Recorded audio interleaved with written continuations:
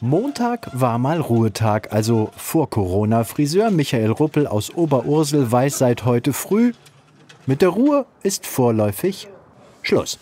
Ziemlich voll. Das ist die erste Woche, die zweite Woche, die dritte Woche.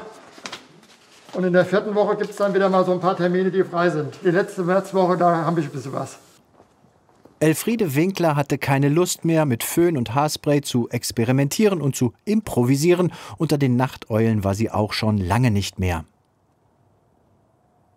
Es ist was ganz anderes als vorher, muss ich wirklich sagen. Ich habe schon eben gerade gesagt, Haare sind in Ordnung, Frau ist glücklich. Einige wenige Männer sind auch dabei. Ich habe es tatsächlich in Videokonferenzen ähm, erlebt, dass Leute Termine wir wollten Termine gemeinsam abstimmen. Und dann der eine dachte, ah, nee, das geht wirklich nicht. Da habe ich dann einen Termin ähm, beim Friseur. Und dann habe ich gesagt, nein, ich bin vorher.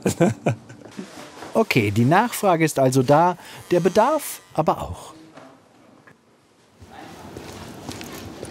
Kurz vor Mitternacht in Espenau, alle schlafen, eine nicht. Friseurin Katja Emmer hat die ersten Termine ab 0 Uhr versteigert. Das Geld wird sie spenden für einen guten Zweck. Nach zehn Wochen Zwangspause endlich wieder arbeiten zu dürfen, fühlt sich gut an.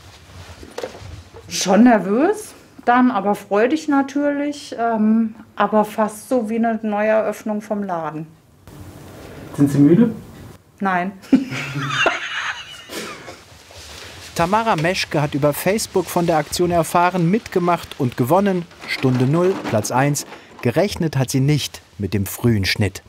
Ich wollte den ersten Ansturm vorbeigehen lassen und dann hingehen. Das war jetzt reiner Zufall, dass das sich das so ergeben hat. Natürlich freut man sich, gerade auch als Frau, wenn man jetzt die Haare gemacht kriegt. 9 Uhr in Kassel. Auch Hans-Karl Krüger darf wieder arbeiten, allerdings nur halbe Kraft voraus. Mit fünf Stühlen weniger im Salon. Er tritt mit komplettem Team und erweiterten Öffnungszeiten an. Ein 10-Stunden-Tag unter erschwerten Bedingungen liegt vor ihm. Meine Kundin und ich, wir brauchen 20 Quadratmeter im Raum. Das schränkt uns schon sehr ein. Das sind so die neuen Abstandsregelungen. Und ansonsten haben wir uns einfach gut vorbereitet auf das, was kommt. Wir testen uns selber wöchentlich. Im Oktober war Doris Rötel das letzte Mal beim Friseur und hatte Glück. Eine andere Kundin ist abgesprungen. Sie stand vorne auf der Warteliste. Also ich fühle mich jetzt wie neu.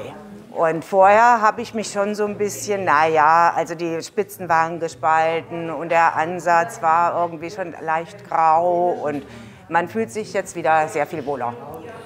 Hans-Karl Krüger und sein Team hoffen jetzt, dass Abstand, Hygiene und Schnelltests ihnen einen weiteren Lockdown ersparen, denn die Zwangspause war hart. Endlich wieder Haare schön machen.